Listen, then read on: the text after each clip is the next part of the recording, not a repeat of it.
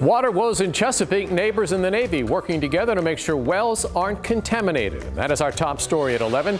Thanks for staying up. I'm David Allen. There are concerns that harmful chemicals may be seeping into wells from the Northwest Annex. Now the Navy is testing each private well one by one for contaminants known as PFAS. Tonight they held a meeting to give neighbors a better understanding of what's happening and what to expect. Chenue Her starts us off tonight.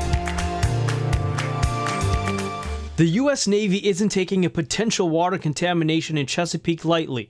At the Naval Support Activity Hampton Roads Northwest Annex Thursday, the Navy held two open houses for those nearby whose water wells may be at risk. About uh, December 2018, we tested one of the wells out here, an inactive well, and detected PFAS, uh, which is a uh, EPA considers an emerging contaminant in the water. Captain Jonathan Klein with the Navy says although they don't know for sure if residents' water is contaminated or not until testing is done, they're doing their part to make sure everyone is safe. Tonight is all about uh, informing the community of what we found and then getting them to sign up if they have a private well, getting them to sign up to agree to that sampling that the Navy will do. But they're not doing it alone. They've partnered with multiple agencies. We do have very strong partnerships with the City of Chesapeake, uh, Department of Environmental Quality, Department of Health is here. Uh, we also have the EPA. And at the meeting was the City of Chesapeake reiterating the importance that they work closely with the Navy to make sure residents are taken care of. Obviously, the Navy has the lead because this issue originated or appears to have originated on base.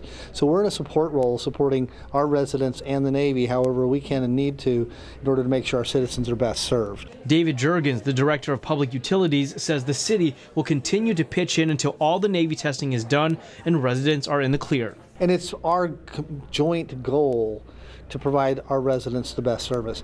We don't anybody want anybody to lose sleep down here because of water quality. That's why we're providing the alternative water point, which is coming out of the city water system right there at our water plant.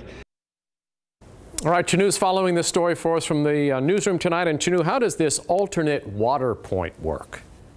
Well, David, residents can go fill up clean water for free at the city water plant. That's at 3550 South Battlefield. And of course, we do have a map of exactly where that is on our website at this story at 13newsnow.com. Chenue, thanks. So what are PFAS and why are they dangerous? They're typically used in firefighting materials, oil and water repellents, and nonstick cookware and more. That said, the health effects on humans are still up for debate.